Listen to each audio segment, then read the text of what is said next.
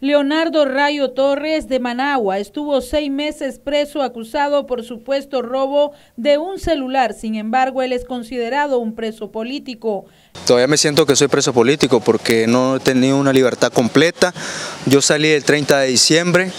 junto a 75, un poco más de, presos políticos, que somos presos políticos perseguidos porque nosotros eh, participamos en marcha, protesta en contra de,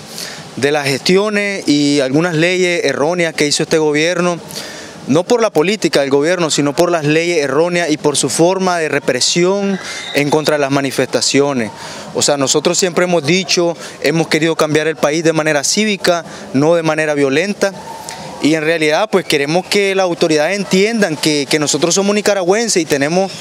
tenemos derecho también nosotros a expresarnos porque la constitución bajo la cual nacimos eh, nos da ese derecho. No es que nosotros nos imponemos, es un derecho que la constitución nos ha dado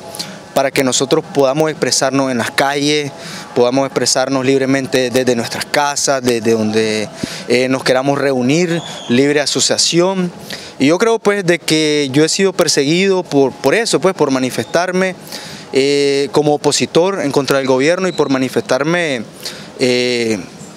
debido a, mi, a, mi, a mi libertad, pues a la libertad que yo siento. Me tuvieron en el mercado Roberto Güembes eh, cinco camionetas Hilux sin ninguna identificación,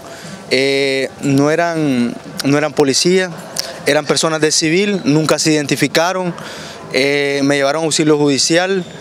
Eh, estaba, me estaban siguiendo porque yo pertenecía a un grupo en redes sociales, Azul y Blanco, de personas que íbamos a, la Catedral de Managua a hacer protesta y eso fue todo, pues yo nunca, nunca he portado un arma, nunca he, atentado contra la vida de nadie, ya sea policía, ya sea un ciudadano normal.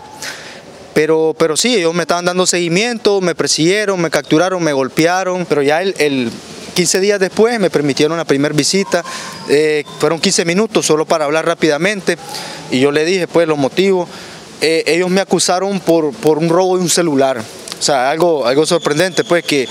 que a, mi edad eh, y me hayan acusado que yo andaba con un cuchillo, robando, asaltando en el huevo, o sea, cosa, cosa que no es así mis mi vecinos, las personas que me conocen desde pequeño, saben que yo he sido activista en el barrio, yo he participado haciendo eh, torneos de fútbol, incluso yendo a pedir a la estación 1, que es donde corresponde, yendo a pedir permiso para hacer torneos de fútbol. Leonardo Rayo demandó la libertad de los 65 reos políticos, quienes aún sufren tras las rejas. Para Noticias 12, Castalia Zapata.